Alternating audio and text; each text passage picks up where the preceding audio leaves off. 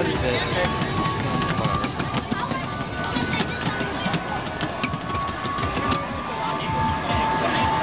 God, Sussman, you had said to taking a picture. It's only gonna be like the second half. You moron.